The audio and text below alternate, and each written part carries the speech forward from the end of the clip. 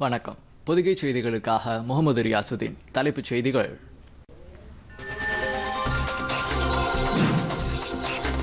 சுயசார்பு இந்தியா திட்டத்தின் இலக்கை அடைவதற்கு சூரிய சக்தி மூலமான மின்சார உற்பத்தி முக்கிய பங்கு வகிக்கும்.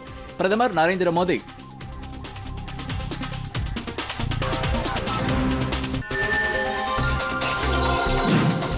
கிராமப்புற பொருளாதாரத்தை ஊக்குவிப்பது குறித்து மாநில அரசுகளுடன் மத்திய வேளாண் துறை அமைச்சர் நரேந்திர சிங் தோமர் காணொலி காட்சி மூலம் ஆலோசனை.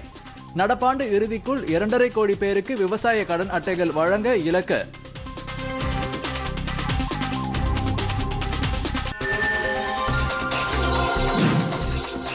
கிழக்கு லடாக் எல்லைப் பகுதியில் அமைதியை நிலைநாட்ட ஏதுவாக இந்திய சீன படைகள் முழுமையாக விலக்கிக் கொள்ளப்படும். இருதரப்பு பேச்சுவார்த்தையில் முடிவு.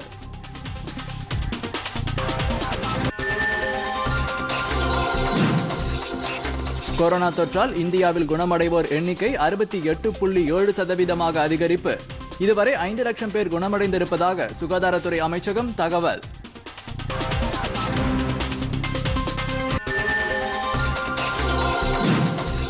தமிழகத்தில் அரசு பள்ளி மாணவர்களுக்கு பொதுகை தொலைக்காட்சி உள்ளிட்ட எட்டு தொலைக்காட்சிகள் மூலம் பாடம் நடத்த நடவடிக்கை.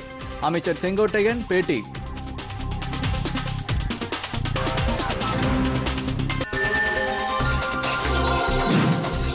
சிங்கப்பூர் நாடாளுமன்ற தேர்தல்.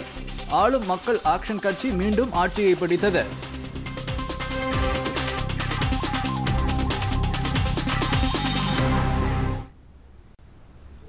விரிவான செய்திகள். சூரிய சக்தி மூலமாக மின்சாரம் உற்பத்தி செய்வதில் உலக அளவில் இந்தியா முன்னிலை வகிப்பதாக பிரதமர் நரேந்திர மோடி பெருமிதம் தெரிவித்துள்ளார். மேலும் சூரிய சக்தி மின்சாரம் தற்காலத்திற்கு மட்டுமன்றி இருபத்தி ஓராம் நூற்றாண்டின் எரிசக்தி தேவைகளை பூர்த்தி செய்யக்கூடிய உறுதியான தூய்மையான மற்றும் பாதுகாப்பான எரிசக்தி வளமாக திகழ்கிறது என்றும் பிரதமர் குறிப்பிட்டார். மத்திய பிரதேச மாநிலம் ரேவாவில் எழுநூற்று ஐம்பது மெகாவாட் திறன் கொண்ட சூரிய மின்சக்தி திட்டத்தை பிரதமர் நரேந்திர மோடி புதுதில்லியிலிருந்து நேற்று காணொலி காட்சி மூலம் நாட்டுக்கு அர்ப்பணித்து வைத்து உரையாற்றினார். சுயசார்பு இந்தியா திட்டத்தில் சூரிய மின் உற்பத்தி ஒருங்கிணைந்த அங்கமாக திகழும் என்று பிரதமர் அப்போது குறிப்பிட்டார்.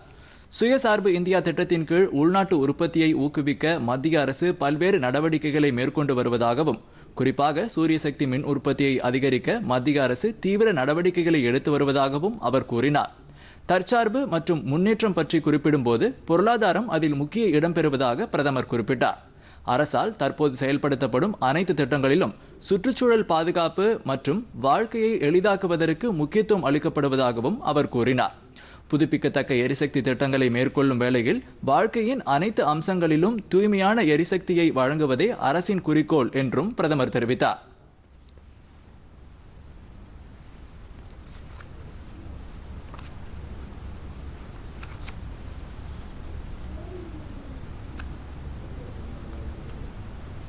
दुनिया की समग्र मानवता की भारत से इसी आशा, इसी अपेक्षा को देखते हुए हम पूरे विश्व को जोड़ने में जुटे हुए हैं। इसी सोच का परिणाम आईसा, यानी इंटरनेशनल सोलर अलायंस, आईसा, इसका हमने निर्माण किया है।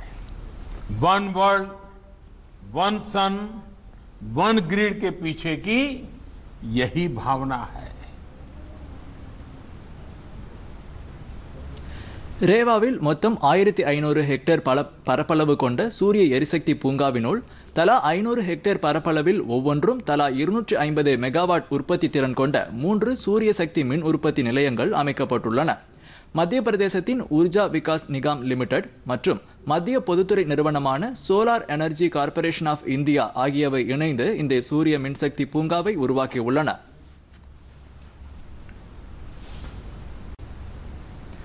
ஆசியாவின் மிகப்பெரிய எழுநூற்று ஐம்பது மெகாவாட் திறன் கொண்ட ரேவா சூரிய சக்தி திட்டத்தை நாட்டிற்கு அர்ப்பணித்து வைத்திருப்பதற்காக உள்துறை அமைச்சர் அமித்ஷா பிரதமர் நரேந்திர மோடிக்கு நன்றி தெரிவித்துள்ளார். இது தொடர்பாக உள்துறை அமைச்சர் வெளியிட்டுள்ள ட்விட்டர் பதிவில் இந்த திட்டம் மிக முக்கியமான எதிர்காலத்திற்கு பயனளிக்கும் திட்டம் என்றும் பிரதமர் மோடி தலைமையிலான அரசின் சுயசார்பு இந்தியா தொலைநோக்கு திட்டத்திற்கு வலுப்படுத்தும் திட்டம் என்றும் குறிப்பிட்டுள்ளார். வரும் இரண்டாயிரத்தி இருபத்தி இரண்டாம் ஆண்டிற்குள் நூற்றி எழுபத்தி ஐந்து ஜிகாவாட் புதுப்பிக்கத்தக்க எரிசக்தி திறனை உருவாக்க வேண்டும் என்ற இலக்கை எட்டுவதற்கான இந்தியாவின் உறுதிப்பாட்டை ரேவா சூரிய சக்தி திட்டம் மீண்டும் உறுதி செய்வதாக உள்ளது என்றும் அமைச்சர் அமித்ஷா கூறியுள்ளார். எரிசக்தி துறையில் தன்னிறைவை உருவாக்கும் முயற்சியில் மேலும் ஒரு முன்னேற்றமான நடவடிக்கையாக இத்திட்டம் உள்ளது என்றும் அவர் குறிப்பிட்டுள்ளார்.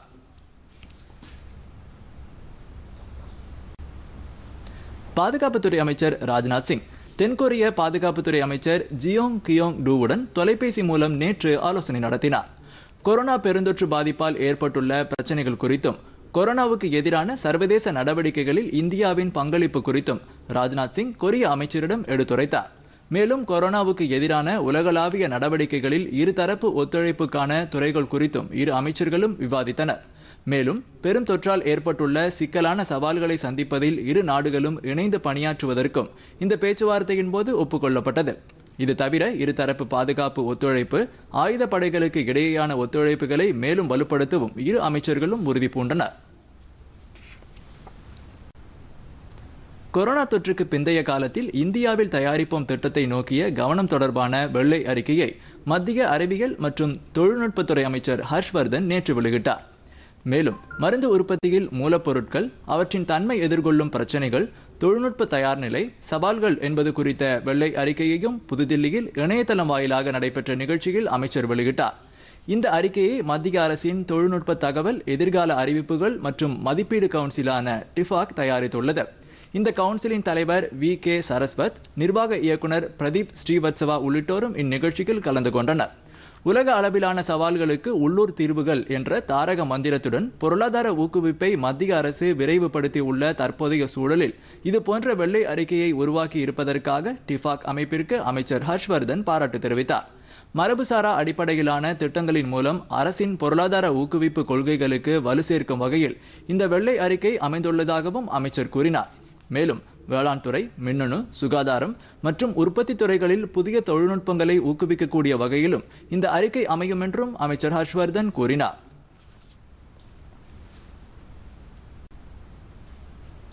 அருணாச்சல பிரதேச மாநிலத்தில் அண்மையில் பெய்த கனமழை மற்றும் அதனைத் தொடர்ந்து ஏற்பட்ட நிலச்சரிவால் ஏராளமானோர் உயிரிழந்த சம்பவம் குறித்து பிரதமர் நரேந்திர மோடி வருத்தம் தெரிவித்துள்ளார். இது தொடர்பாக பிரதமர் வெளியிட்டுள்ள ட்விட்டர் பதிவில் உயிரிழந்தவர்களின் குடும்பத்தினர் குறித்து தாம் கவலை அடைந்திருப்பதாக கூறியுள்ளார். நிலச்சரிவில் காயமடைந்தவர்கள் விரைந்து குணமடைவார்கள் என்றும் அவர் நம்பிக்கை தெரிவித்துள்ளார். அந்த மாநிலத்திற்கு தேவையான அனைத்து உதவிகளையும் மத்திய அரசு வழங்கும் என்றும் பிரதமர் கூறியுள்ளார்.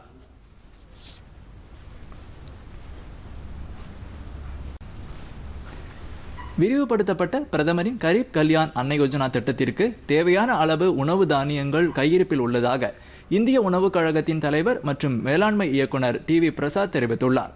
இது தொடர்பாக அவர் அளித்துள்ள பேட்டியில் இந்திய உணவுக் கழகத்திடம் தற்போது ஐம்பத்தி ஐந்து மில்லியன் டன் கோதுமை மற்றும் நாற்பது மில்லியன் டன் அரிசி என மொத்தம் தொன்னூற்று ஐந்து மில்லியன் டன் உணவு தானியங்கள் கையிருப்பில் இருப்பதாக கூறினார். இவற்றில் ஐம்பது மில்லியன் டன் உணவு தானியங்கள் அடுத்த சில மாதங்களில் மாநிலங்களுக்கு விநியோகிக்கப்பட இருப்பதாகவும் இதில் இருபது மில்லியன் டன் பிரதமரின் கரீப் கல்யாண் அன்னை யோஜனா திட்டத்தின் கீழ் வழங்கப்படும் என்றும் அவர் தெரிவித்தார். கொரோனா ஊரடங்கு காரணமாக ஏழைகளுக்கு வழங்கப்பட்டு வரும் இலவச உணவு தானியங்களை நவம்பர் மாதம் வரை மேலும் ஐந்து மாதங்களுக்கு நீட்டித்து வழங்க மத்திய அமைச்சரவை அண்மையில் ஒப்புதல் அளித்தது. இத்திட்டத்தின் கீழ் ஏழை குடும்பங்களுக்கு குடும்பத்தில் உள்ள ஒவ்வொரு நபருக்கும் தலா ஐந்து கிலோ அரிசி அல்லது கோதுமையுடன் ஒவ்வொரு குடும்பத்திற்கும் தலா ஒரு கிலோ பருப்பு என தேசிய உணவு பாதுகாப்பு சட்டத்தின் கீழ் பயனடையும் எண்பத்தி ஒரு கோடி பேர் மேற்பட்டோருக்கு வழங்கப்பட உள்ளது குறிப்பிடத்தக்கது. கிராமப்புற பொருளாதாரத்தை ஊக்குவிப்பதற்காக அண்மையில் மத்திய அரசு எடுத்து வரும் முன் முயற்சிகள் குறித்து மாநில அரசுகளுடன் மத்திய வேளாண்துறை அமைச்சர் நரேந்திர சிங் தோமர் புதுதில்லியிலிருந்து காணொலி காட்சி மூலம் ஆய்வு நடத்தினார். நாடு முழுவதும் பத்தாயிரம் விவசாயிகள் உற்பத்தி அமைப்புகளை ஏற்படுத்துவதற்கான புதிய செயல்பாட்டு வழிமுறைகள் அடங்கிய புத்தகத்தையும் இந்த நிகழ்ச்சியில் அமைச்சர் வெளியிட்டார். இந்த வழிமுறைகளை நடைமுறைப்படுத்துவதில் உள்ள முக்கியமான பிரச்சனைகள் குறித்து மாநில அரசின் வேளாண் துறை அதிகாரிகளுடன் அமைச்சர் விரிவாக கேட்டறிந்தார். இந்நிகழ்ச்சியில் பேசிய அவர் சுயசார்பு இந்தியா திட்டத்தின் கீழ் இருபது லட்சம் கோடி ரூபாய் ஒதுக்கீடு செய்திருப்பதற்காக பிரதமர் நரேந்திர மோடிக்கு நன்றி தெரிவிப்பதாக கூறினார். வேளாண் உள்கட்டமைப்பு திட்டங்களை உருவாக்குவதற்கு ஒரு லட்சம் கோடி ரூபாய் நிதியை ஏற்படுத்த அமைச்சரவை ஒப்புதல் அளித்திருப்பதை சுட்டிக்காட்டிய அவர் இதன் மூலம் அறுவடைக்கு பிந்தைய கட்டமைப்புகளை உருவாக்க முடியும் என்றார்.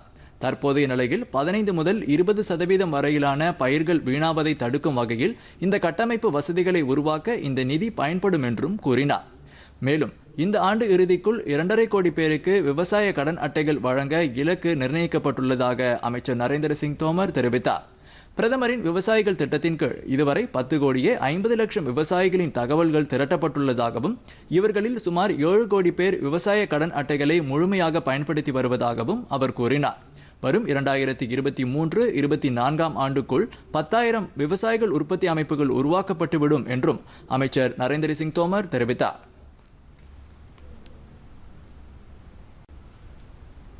சுயசார்பு திறன் கொண்ட ஊழியர் மற்றும் வேலை வழங்குவோருக்கான தகவல்கள் அடங்கிய அசீம் எனும் இணையதளத்தை மத்திய திறன் மேம்பாடு மற்றும் தொழில் முனைவோர் அமைச்சகம் தொடங்கியுள்ளது இந்த இணையதளத்தை அத்துறைக்கான மத்திய அமைச்சர் மகேந்திரநாத் பாண்டே தொடங்கி வைத்தார். இந்த இணையதளத்தில் திறமையுடைய இளைஞர்கள் மற்றும் அது போன்ற நபர்களை தெரிவு செய்யக்கூடிய நிறுவனங்கள் குறித்த தகவல்கள் இடம்பெற்றிருக்கும் என மத்திய அரசு தெரிவித்துள்ளது. மண்டல வாரியாகவும் உள்ளூர் தொழிற்சாலைகளின் தேவைக்கு ஏற்பவும் தொழிலாளர்கள் குறித்த விவரங்களும் இந்த இணையதளத்தில் இடம்பெற்றிருக்கும். இதன் மூலம் திறமை வாய்ந்த தொழிலாளர்களை கண்டறிந்து அவர்களுக்கு நிறுவனங்கள் வேலை வழங்க முடியும் என்றும் தெரிவிக்கப்பட்டுள்ளது. கொரோனா பெருந்தொற்று காலத்தில் மத்திய அரசின் சுகாதார காப்பீட்டு திட்டமான ஆயுஷ்மான் பாரத் திட்டத்தின் ஏழை மக்களுக்கு அடிப்படை சுகாதார வசதிகளை வழங்கி வருகிறது.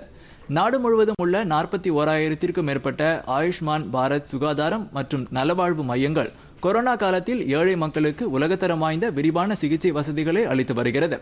ஊரடங்கு நடைமுறையில் உள்ள ஐந்து மாதங்களில் சுமார் எட்டு கோடியே எண்பது லட்சத்திற்கும் மேற்பட்டோர் இந்த மையங்களுக்கு வந்து சிகிச்சை பெற்று சென்றுள்ளனர். கொரோனாவுக்கு எதிரான போராட்டத்தில் மிகச்சிறந்த பங்களிப்பை வழங்கி வரும் இந்த நலவாழ்வு மையங்கள் இன்ஃப்ளூயன்சா மற்றும் கடுமையான மூச்சு திணறல் போன்ற குறைபாடு உள்ளவர்களையும் பரிசோதித்து அவர்களுக்கு கொரோனா பரிசோதனைக்கான ஏற்பாடுகளையும் செய்து வருகின்றன. இந்த மையங்களால் ஏற்படுத்தப்பட்டுள்ள சிறப்பு குழுக்கள் கொரோனா தடுப்புக்கான முன்னெச்சரிக்கை நடவடிக்கைகள் குறித்த விழிப்புணர்வையும் மேற்கொண்டு வருகின்றன. மேலும் கொரோனா அல்லாத பிற அத்தியாவசிய மருத்துவ சேவைகளையும் இந்த மையங்கள் பொதுமக்களுக்கு வழங்கி வருகின்றன. கடந்த ஜூன் மாதத்தில் மட்டும் ஐந்து லட்சத்து அறுபத்தி இரண்டாயிரம் உயர் இரத்த அழுத்த நோயாளிகள் மற்றும் மூன்று லட்சத்து எழுபத்தி ஏழாயிரம் சர்க்கரை நோயாளிகளுக்கு மருந்துகள் வழங்கப்பட்டுள்ளன. சுமார் ஆறரை லட்சத்திற்கும் மேற்பட்ட யோகா மற்றும் நலவாழ்வு முகாம்களும் இந்த மையங்கள் மூலம் ஊரடங்கு காலத்தில் நடத்தப்பட்டுள்ளது. கடந்த ஜனவரி முதல் ஜூன் மாதம் வரையிலான காலத்தில் கூடுதலாக திறக்கப்பட்ட பனிரெண்டாயிரத்து நானூற்று இருபத்தி ஐந்து சுகாதாரம் மற்றும் நலவாழ்வு மையங்கள் செயல்பாட்டிற்கு வந்ததன் மூலம் தற்போது இந்த மையங்களின் எண்ணிக்கை நாற்பத்தி ஓராயிரத்து எழுநூற்று தொண்ணூறாக அதிகரித்துள்ளது. இரண்டாயிரத்தி இருபத்தி இரண்டாம் ஆண்டுக்குள் நாடு முழுவதும் சுமார் ஒன்றரை லட்சம் சுகாதாரம் மற்றும் நலவாழ்வு மையங்களை ஏற்படுத்த அரசு இலக்கு நிர்ணயித்து செயல்பட்டு வருகிறது. நாட்டின் பல்வேறு பகுதிகளிலும் அண்மையில் மின்னல் தாக்கி ஏராளமானோர் உயிரிழந்த சம்பவத்தை தொடர்ந்து மக்களுக்கான பாதுகாப்பு குறித்த தகவல்களை தேசிய பேரிடர் மேலாண்மை ஆணையம் பரிந்துரைத்துள்ளது. இதன் மூலம் மின்னல் காரணமாக ஏற்படும் உயிரிழப்புகளை தவிர்க்க முடியும் என அந்த ஆணையம் கூறியுள்ளது. அந்த ஆணையத்தின் உறுப்பினர் கமல் கிஷோர் செய்தியாளர்களிடம் கூறுகையில் மின்னல் ஏற்பட்டால் மக்கள் மரங்களுக்கு கீழேயோ அல்லது அருகிலோ தஞ்சம் அடையக்கூடாது என்று கூறினார். அது போன்ற நேரங்களில் வீடுகளுக்குள்ளோ உறுதியான கட்டிடங்களுக்குள்ளோ மக்கள் தங்கியிருக்க வேண்டும் என்றும் அவர் கூறினார். தகரம் அல்லது உலோகத்தால் ஆன கூரை உள்ள பகுதிகளில் மின்னல் ஏற்படும் சமயத்தில் தஞ்சம் அடையக்கூடாது என்றும் தெரிவித்த அவர் வெட்ட வழியில் இருப்பதையும் மக்கள் தவிர்க்க வேண்டும் என்று அவர் அறிவுறுத்தியுள்ளார்.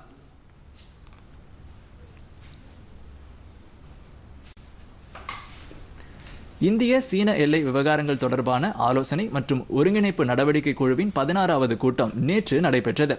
இந்திய தரப்பில் வெளியுறவு அமைச்சகத்தின் கிழக்கு ஆசியாவுக்கான இணை செயலாளர் தலைமையிலான குழு பங்கேற்றது. சீன பிரதிநிதிகள் குழுவிற்கு அந்நாட்டு எல்லை மற்றும் கடல்சார் துறையின் தலைமை இயக்குனர் தலைமை வகித்தார். கடந்த பதினேழாம் தேதி இந்திய சீன வெளியுறவு அமைச்சர்கள் நடத்திய பேச்சுவார்த்தையின் போது மேற்கொள்ளப்பட்ட ஒப்பந்தத்தை இருதரப்பும் மீண்டும் நேற்றைய பேச்சுவார்த்தையின் போது நினைவு கூர்ந்தனர். மேலும் எல்லையில் இரு நாட்டு படைகளை விலக்கிக் கொள்வது தொடர்பாக கடந்த ஐந்தாம் தேதி இரு நாடுகளின் சிறப்பு பிரதிநிதிகள் இடையேயான தொலைபேசி உரையாடலின் போது தெரிவிக்கப்பட்ட சம்மதம் குறித்தும் நேற்றைய கூட்டத்தில் விவாதிக்கப்பட்டது. அதன்படி தற்போதுள்ள இரு நாட்டு எல்லை கட்டுப்பாட்டு பகுதியில் இருதரப்பு இராணுவத்தினரை முழுமையாக விலக்கிக் கொள்வதை உறுதி செய்வது என்றும் முடிவு செய்யப்பட்டது. இதன் மூலம் இந்திய சீன எல்லையில் இருதரப்பு ஒப்பந்தங்கள் மற்றும் நடைமுறைகளின் அடிப்படையில் அமைதி மற்றும் நல்லிணக்கத்தை முழு அளவில் கடைபிடிப்பது என்றும் நேற்றைய ஆலோசனையின் போது முடிவு செய்யப்பட்டது. இரு நாடுகளுக்கும் இடையேயான ஒட்டுமொத்த நல்லுறவுகளை தொடர்ந்து பராமரித்து அமைதியை நிலைநாட்ட வேண்டியது அவசியம் என்றும் இந்த கூட்டத்தில் ஆலோசிக்கப்பட்டு அதற்கான சம்மதம் தெரிவிக்கப்பட்டது. இரு நாட்டு எல்லையின் மேற்கு பகுதியில் படைகள் திரும்பப் பெறும் நடவடிக்கைகளில் ஏற்பட்டுள்ள முன்னேற்றம் குறித்து இருதரப்பு அதிகாரிகள் விரிவாக ஆய்வு செய்தனர். ராணுவ கமாண்டர்கள் நிலைமையிலான பேச்சுக்களின் போது எடுக்கப்பட்ட புரிந்துணர்வுகளை உறுதியுடன் நடைமுறைப்படுத்த வேண்டியது அவசியம் எனவும் இந்த கூட்டத்தில் முடிவு செய்யப்பட்டது. மீண்டும் இரு நாட்டு சிறப்பு பிரதிநிதிகள் மற்றும் மூத்த ராணுவ அதிகாரிகள் சந்தித்து உரிய நேரத்தில் முழு அளவிலான படைகள் திரும்பப் பெறுவதை உறுதி செய்வது என்றும் முடிவு செய்யப்பட்டது.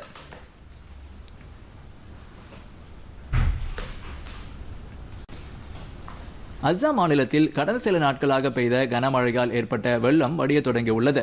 என்றாலும் பிரம்மபுத்திரா உள்ளிட்ட ஆறுகளில் வெள்ள நீர் பெருக்கெடுத்து ஓடுவதாக தகவல்கள் தெரிவிக்கின்றன. மேலும் அந்த மாநிலத்தின் பதினான்கு மாவட்டங்கள் தொடர்ந்து வெள்ள நீரில் தத்தளித்து வருவதாக தகவல்கள் தெரிவிக்கின்றன. கேமாஜி லக்கிம்பூர் ஆகிய மாவட்டங்கள் மிக மோசமான பாதிப்பை எதிர்கொண்டுள்ளன. ஆறு கிராமங்கள் முற்றிலுமாக வெள்ளத்தில் மூழ்கி இருப்பதாக தகவல்கள் தெரிவிக்கின்றன. ஏராளமான ஹெக்டேர் பரப்பில் பயிர்கள் மூழ்கி உள்ளன. இதுவரை அஸ்ஸாம் மாநிலத்தில் மழை தொடர்பான சம்பவங்களில் நாற்பது பேர் உயிரிழந்துள்ளனர். வெள்ள மீட்பு பணிகளில் மாநில மீட்பு குழுவினருடன் பேரிடர் மீட்பு படையினரும் ஈடுபட்டுள்ளனர். பல்லாயிரக்கணக்கானோர் நிவாரண முகாம்களில் தங்க வைக்கப்பட்டுள்ளனர்.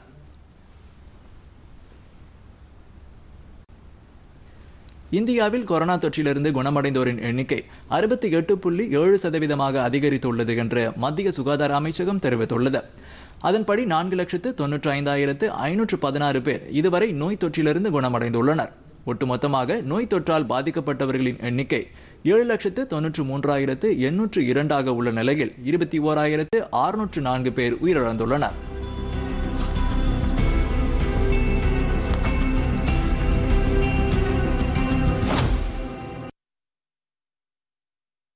நாட்டில் அதிகபட்சமாக மகாராஷ்டிரா மாநிலத்தில் இரண்டு லட்சத்து முப்பதாயிரத்து ஐநூற்று தொன்னூற்று ஒன்பது பேர் பாதிக்கப்பட்டு ஒன்பதாயிரத்து அறுநூற்று அறுபத்தி ஏழு பேர் உயிரிழந்துள்ளனர்.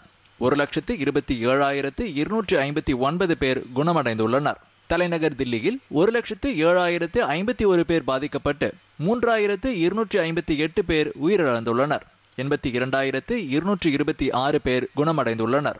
குஜராத்தில் முப்பத்து ஒன்பதாயிரத்து நூற்று தொன்னூற்று நான்கு பேர் பாதிக்கப்பட்டு இரண்டாயிரத்து எட்டு பேர் உயிரிழந்துள்ளனர். இருபத்தி ஏழாயிரத்து எழுநூற்று பதினெட்டு பேர் குணமடைந்துள்ளனர். உத்தரப்பிரதேசத்தில் முப்பத்தி இரண்டாயிரத்து முன்னூற்று அறுபத்தி இரண்டு பேர் பாதிக்கப்பட்டு எட்நூற்று அறுபத்தி இரண்டு பேர் உயிரிழந்துள்ளனர். இருபத்தி ஓராயிரத்து நூற்று இருபத்தி ஏழு பேர் குணமடைந்துள்ளனர். கர்நாடகாவில் முப்பத்தி ஓராயிரத்து நூற்றி ஐந்து பேர் பாதிக்கப்பட்டு நானூற்று எண்பத்தி ஆறு பேர் உயிரிழந்துள்ளனர். பனிரெண்டாயிரத்து எண்ணூற்று முப்பத்தி மூன்று பேர் குணமடைந்துள்ளனர். மேற்கு வங்கத்தில் இருபத்தி ஐந்தாயிரத்து தொள்ளாயிரத்து பதினோரு பேர் பாதிக்கப்பட்டு எண்ணூற்று ஐம்பத்தி நான்கு பேர் உயிரிழந்துள்ளனர். பதினாறாயிரத்து எண்ணூற்று இருபத்தி எட்டு பேர் குணமடைந்துள்ளனர். தமிழகத்தில் நேற்று புதிதாக மூன்றாயிரத்து அறுநூற்று எண்பது பேருக்கு கொரோனா தொற்று உறுதி செய்யப்பட்டுள்ளது. இதில் சென்னையில் ஆயிரத்தி இருநூற்றி ஐந்து பேருக்கும் எஞ்சிய மாவட்டங்களில் இரண்டாயிரத்து நானூற்று எழுபத்தி ஐந்து பேருக்கும் பாதிப்பு ஏற்பட்டுள்ளது. இதன் மூலம் மாநிலம் முழுவதும் இந்நோய் தொற்றால் பாதிக்கப்பட்டோரின் மொத்த எண்ணிக்கை ஒரு லட்சத்து முப்பதாயிரத்து இருநூற்று அறுபத்தி ஒன்றாக அதிகரித்துள்ளது.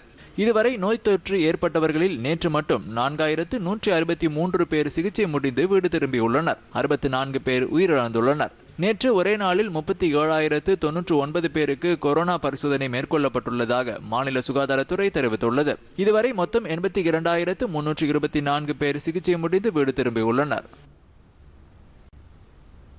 மறைந்த முன்னாள் அமைச்சர் நாவலர் ரா நெடுஞ்செழியனை சிறப்பிக்கும் வகையில் தமிழக அரசின் சார்பில் முழு திருவுருவ வெண்கல சிலை அமைக்கப்படும் என்று முதலமைச்சர் எடப்பாடி பழனிசாமி தெரிவித்துள்ளார்.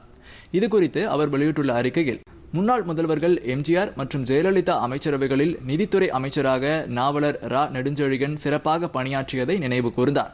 அவரை சிறப்பிக்கும் வகையில் சென்னை சேப்பாக்கம் அரசு விருந்தினர் மாளிகை வளாகத்தில் முழு உருவ வெண்கல சிலை அமைக்கப்படும் என்றும் அவரது பிறந்த நாளான ஜூலை பதினோராம் தேதி அரசு விழாவாக ஒவ்வொரு ஆண்டும் கொண்டாடப்படும் என்றும் குறிப்பிட்டுள்ளார். நாவலர் ரா. நெடுஞ்செழியன் குடும்பத்தினரின் ஒப்புதல் பெற்று அவர் எழுதிய வாழ்வில் நான் கண்டதும் கேட்டதும் என்ற அவரது வாழ்க்கை வரலாறு நூலை அரசுடைமையாக்க நடவடிக்கை எடுக்கப்படும் என்றும் முதலமைச்சர் பழனிசாமி கூறியுள்ளார்.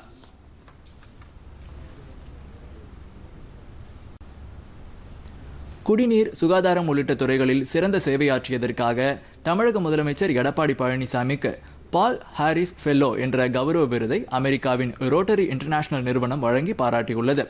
இது குறித்து தமிழக அரசு வெளியிட்டுள்ள அறிக்கையில் குடிநீர் சுகாதாரம் நோய் தடுப்பு தாய் சேய் நலம் சுற்றுச்சூழல் உலக சமாதானம் போன்ற துறைகளில் சிறப்பான முறையில் சேவையாற்றுபவர்களை அமெரிக்காவின் சிகாகோ நகரில் உள்ள the Rotary Foundation of Rotary International என்ற அமைப்பு பால் ஹாரிஸ் ஃபெல்லோ என அழைத்து கௌரவப்படுத்தி வருகிறது.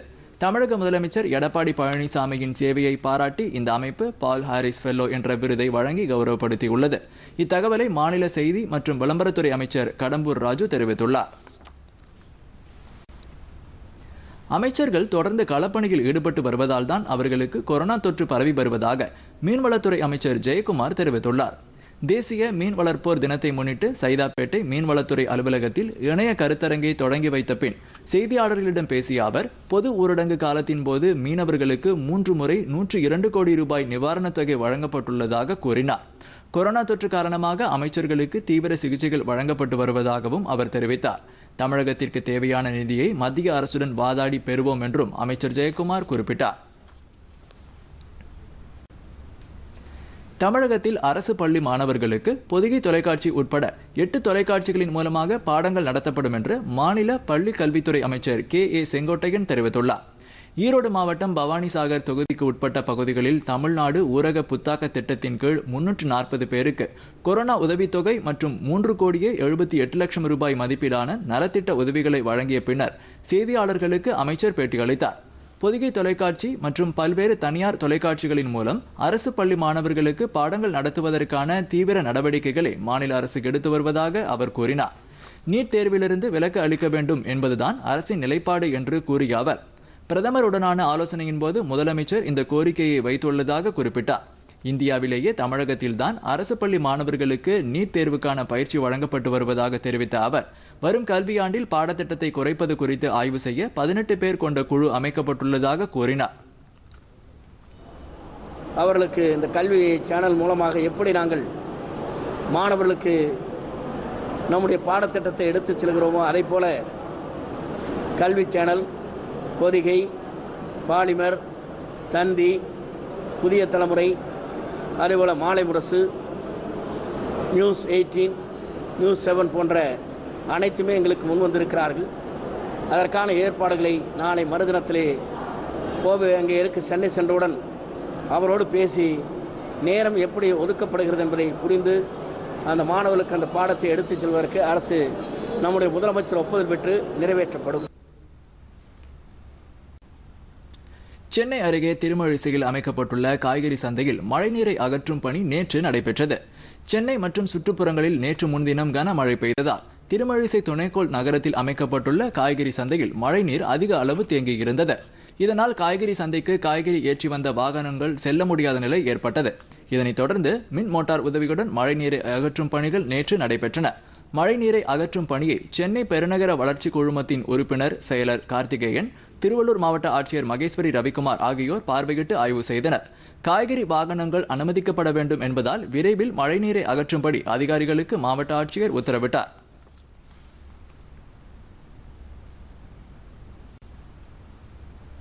சாத்தான்குளத்தில் போலீஸ் காவலில் இருந்தபோது உயிரிழந்த தந்தை மகன் வழக்கில் விசாரணை மேற்கொள்வதற்காக சிபிஐ அதிகாரிகள் தூத்துக்குடி வந்து சிபிசிஐடியிடம் இருந்து வழக்கு தொடர்பான அனைத்து ஆவணங்களையும் பெற்றுக்கொண்டனர் இதைத் தொடர்ந்து அந்த ஆவணங்களை சுமார் மூன்று மணி நேரத்திற்கும் மேலாக சரிபார்த்தனர்.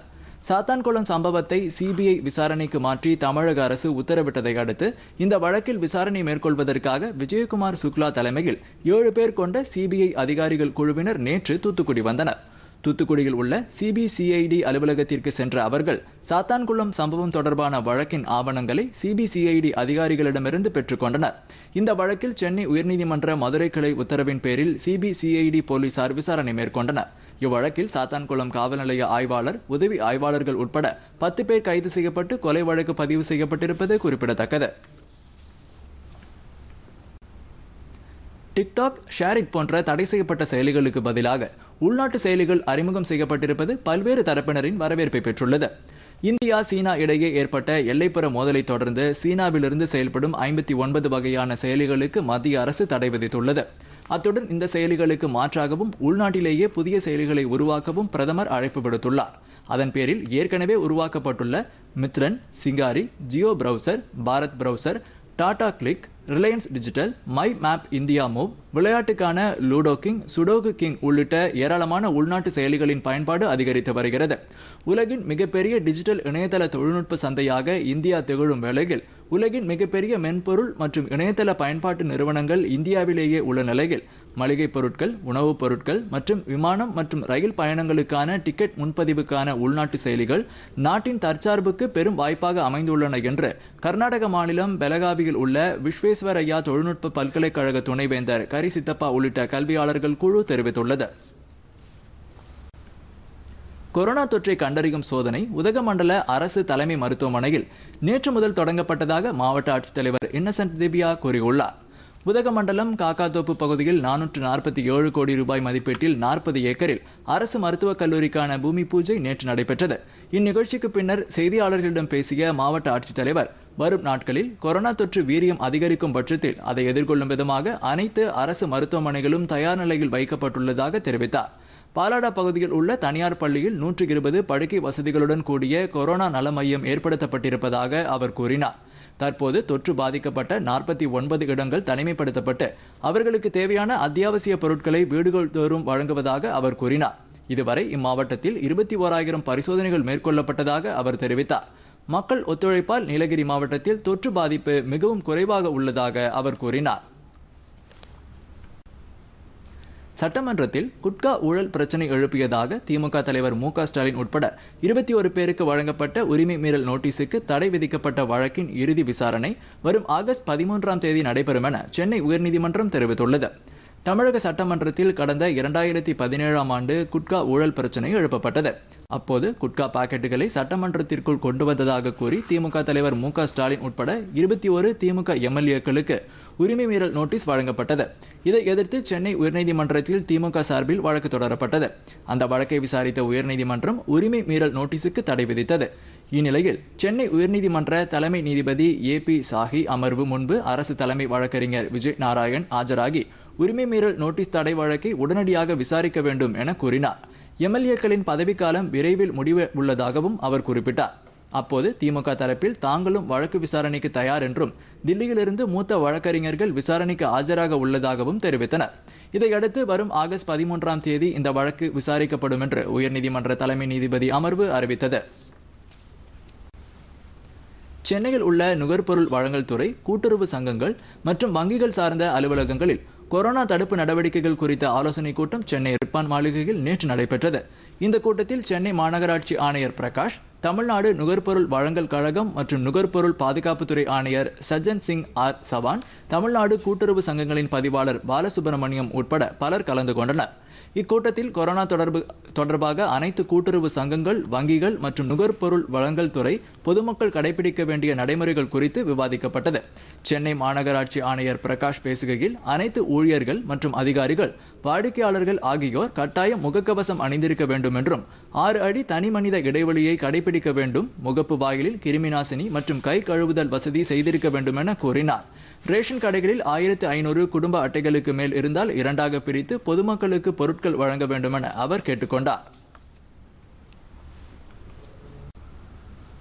சிங்கப்பூரில் நேற்று நடைபெற்ற பொதுத் தேர்தலில் ஆளும் மக்கள் ஆக்ஷன் கட்சி அமோக வெற்றி பெற்றுள்ளது. சிங்கப்பூரில் மக்கள் ஆக்ஷன் கட்சி கடந்த ஆயிரத்து தொள்ளாயிரத்து அறுபத்தி ஐந்தாம் ஆண்டு முதல் ஆட்சியில் உள்ளது. பிரதமர் லீயின் பதவிக்காலம் முடிவடைய பத்து மாதங்கள் இருந்த போதிலும் முன்கூட்டியே தேர்தல் நடத்த அவர் உத்தரவிட்டார். கொரோனா தொற்று பாதிப்புக்கு இடையே கடுமையான பாதுகாப்பு விதிமுறைகளுடன் சிங்கப்பூரில் நேற்று காலை வாக்குப்பதிவு நடைபெற்றது. சிங்கப்பூரில் அனைவரும் வாக்களிக்க வேண்டியது கட்டாயம் என்பதால் வாக்குப்பதிவு மையங்கள் முன் மக்கள் நீண்ட வரிசையில் நின்று வாக்களித்தனர். தேர்தலில் பதிவான வாக்குகள் உடனடியாக எண்ணப்பட்டு முடிவுகள் அறிவிக்கப்பட்டன.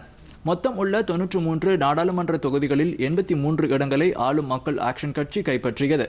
இக்கட்சியின் வாக்கு சதவீதம் அறுபத்தி ஒன்று புள்ளி இரண்டு. ஆனால் கடந்த இரண்டாயிரத்தி பதினைந்தாம் ஆண்டு நடந்த தேர்தலில் இந்த கட்சி எழுபது சதவீத வாக்குகளை பெற்றிருந்தது குறிப்பிடத்தக்கது. கொரோனா தடுப்பில் அரசின் நடவடிக்கைகளுக்கு மக்களிடையே ஆதரவு உள்ளது என்பதை தேர்தல் முடிவுகள் காட்டுகின்றன.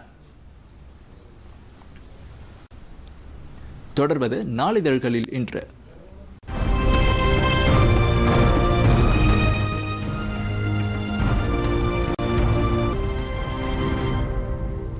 திருப்பூர் பல்லடம் சாலையில் உள்ள உணவு விடுதி ஒன்றில் கொரோனா தொற்று பாதிப்பை தவிர்க்க முகக்கவசம் அணிய வேண்டியதன் அவசியத்தை வலியுறுத்தும் வகையில் முகக்கவசம் போன்ற பரோட்டா விற்பனை செய்யப்படுகிறது.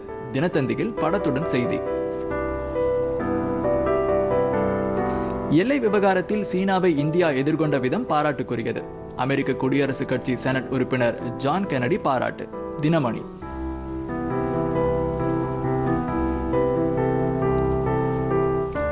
கொரோனா தொற்றை தடுக்க உதவும் பனிரெண்டு வகையான யோகா பயிற்சி. தினமலரில் படத்துடன் செய்தி.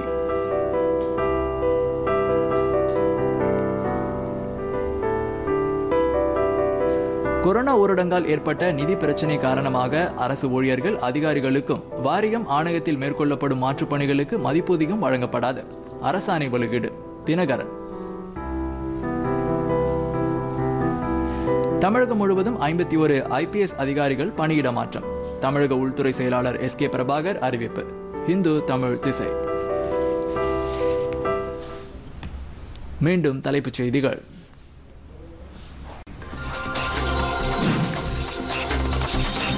சுயசார்பு இந்தியா திட்டத்தின் இலக்கை அடைவதற்கு சூரிய சக்தி மூலமான மின்சார உற்பத்தி முக்கிய பங்கு வகிக்கும். பிரதமர் நரேந்திர மோடி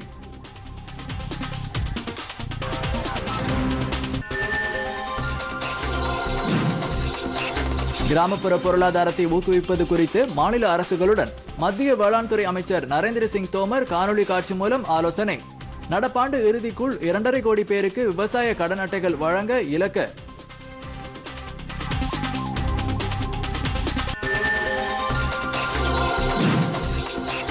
கிழக்கு லடாக் எல்லை பகுதியில் அமைதியை நிலைநாட்ட ஏதுவாக இந்திய சீன படைகள் முழுமையாக விலக்கிக் கொள்ளப்படும். இருதரப்பு பேச்சுவார்த்தையில் முடிவு.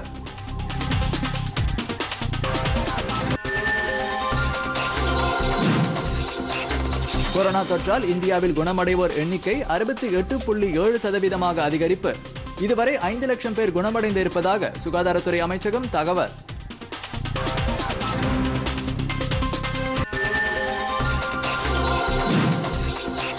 தமிழகத்தில் அரசு பள்ளி மாணவர்களுக்கு பொதிகை தொலைக்காட்சி உள்ளிட்ட எட்டு தொலைக்காட்சிகள் மூலம் பாடம் நடத்த நடவடிக்கை. அமைச்சர் செங்கோட்டையன் பேட்டி.